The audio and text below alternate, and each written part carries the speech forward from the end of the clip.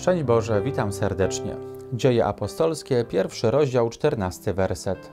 Wszyscy oni trwali jednomyślnie na modlitwie, razem z niewiastami, z Maryją, matką Jezusa i z jego braćmi. Odnosząc się do usłyszanego fragmentu, święty Jan Paweł II zwrócił uwagę na to, że Matka Najświętsza od początku jest przy wspólnocie Kościoła i modli się dla tej wspólnoty o dar Ducha Świętego. Doświadczając szczególnej obecności i działania Parakleta w chwili zwiastowania, Maryja bardziej niż ktokolwiek inny potrafiła dostrzec jego wartość.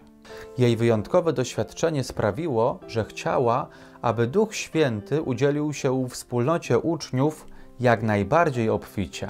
Dzięki Maryi podczas zwiastowania Duch Boży ukształtował ciało Jezusa Chrystusa.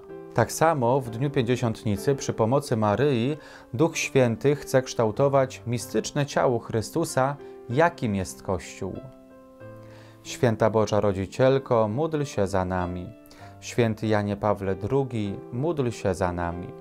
Niech Was błogosławi Bóg Wszechmogący, Ojciec i Syn i Duch Święty. Amen. Błogosławmy Panu, Bogu niech będą dzięki. Szczęść Boże i do zobaczenia.